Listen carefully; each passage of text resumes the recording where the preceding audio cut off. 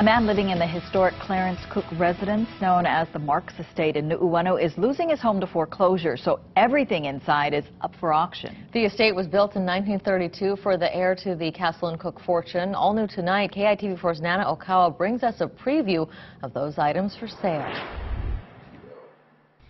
Art collector Douglas Himmelfarb has a historic house and an extensive art collection. But now this all has to go.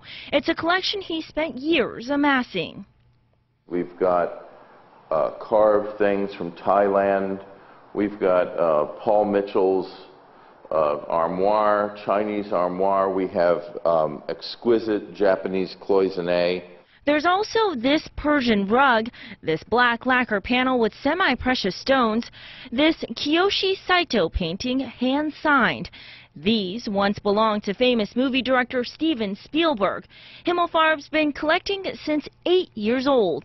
He learned his craft from a couple who owned an antique store in Maryland.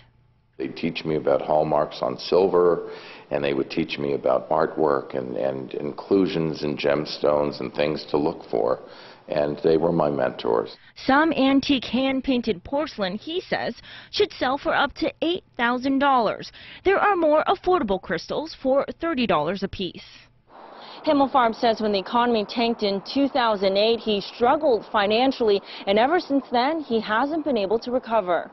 I was over leveraged, but I had equity in my house and was not able to refinance through the bank and they refused all of my efforts, and that's why I'm here.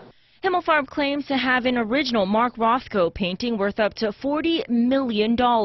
He's dedicated the last 27 years to proving it's authentic in order to sell it.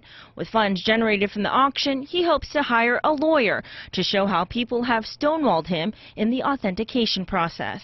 Nana Okawa, KITV 4 News.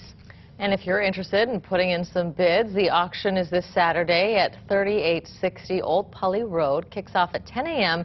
You can preview the items starting at 9. Be interesting just to take a look inside. I think so.